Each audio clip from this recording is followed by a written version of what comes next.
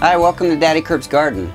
I wanted to bring you into the greenhouse for just a minute to show you what's going on this spring. Things are kind of crazy. Nights are cool, days are warm.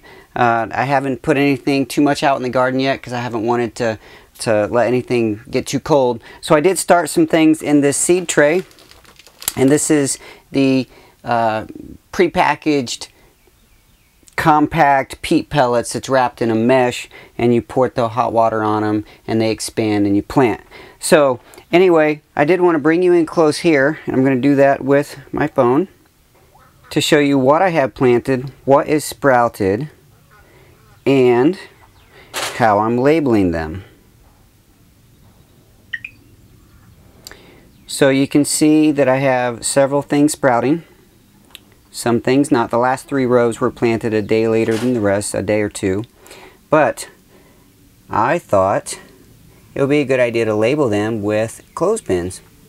And I just, each row, each of the six pellets in a row are the same thing. So I have 12 varieties Brussels sprouts, broccoli, beets, beefsteak tomatoes, Mexican midget tomatoes, homestead tomatoes, cherry tomatoes, uh, hot pepper mix, and Space Master cucumber, sweet banana peppers, and this is an African, these are not sprouted yet, but this is an African pepper given to me by a friend who is from Africa, and they're called peri peri. They're supposed to be very hot, and these two are, I think they're African, and it's a yellow pepper and they are not quite as hot. They're not mild. I labeled it mild, but they're more of a medium pepper. But that's what I have sprouted here. And these will be going into uh, pots. In fact, today, in this episode, I'm going to put the cucumbers in cups. So, I'm going to do that right now. I'm going to show you a couple things. These cups I recycled, or actually I got them out of the trash at church. Our church drinks, uh, they have co a coffee bar, so you drink coffee, and uh, people throw their cups away. It's what people do, but I hate to see all those go in the trash and then me need a cup later and, um, you know, finding, you know, I just like to recycle. So what I'm going to do is I'm going to take these Space Master cucumbers and I'm going to get some of my soil here. I'm just going to put it about two-thirds of the way full and these peat pellets, you can see the roots already growing through it. See that?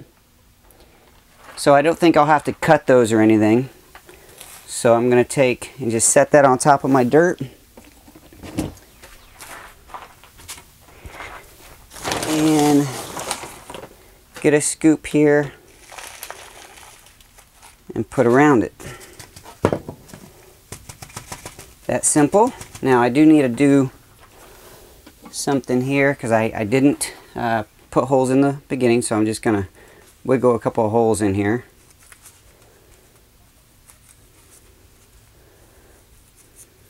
It's my gardening knife. Alright, so I put some holes along the bottom just for water. Now another cool thing I got in here that I like to recycle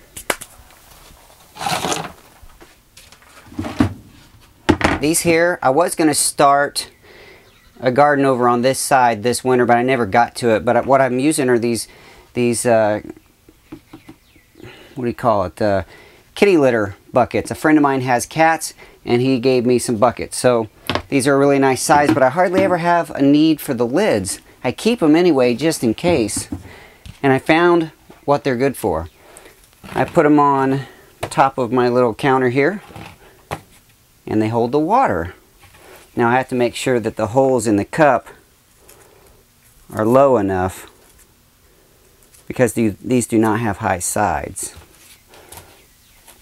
So I can get six cups like that started on one of these trays, put it up here, and it'll keep the water in the bottom. I thought I would actually bring the camera in to show you what else I have going on here in the in the greenhouse and this is the what I just potted and here are some hostas that I'm, I'm trying to salvage. They were they were not doing well, but I'm trying to get them to grow so we can put them in the yard. And some parsley and uh, cilantro. I have to look at the label because I can never tell which one is which. And these are just a couple of plants that my neighbor gave me. Not sure what they are. But you can see this here. This is where I'm using for the to catch the water. Also, I have a bucket of compost tea that I keep full all the time. I just put new water in it. Uh, and someday that compost is going to wear out and I'll have to put new compost in. But for now it's doing fine. This is Mama's little rose plant. Looks like I got some cobwebs on it. I'm going to have to clean that up. But it's, it's done well in here over the winter. And these are just a collection of pumpkin seeds that I, I kept from the Halloween time pumpkins. I'm not sure where or when I'm going to plant those, but I have them in here so they could stay dried out.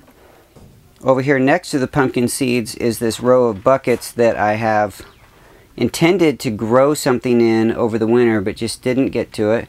So I keep water in there so I can use that water to pour into the compost, tea, and also uh, just to keep the humidity up in the greenhouse.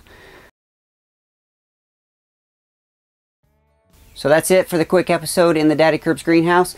Thank you so much for joining me. Uh, as always, I truly appreciate you being with me here on YouTube and sharing this experience with me. Remember, I am not an expert gardener. All of this is an experiment. Some of this stuff may be right on. Some of it may just be an experiment in the early stages and not worth repeating. So, take that for what it's worth. Enjoy your garden, keep growing, and I'll talk to you soon.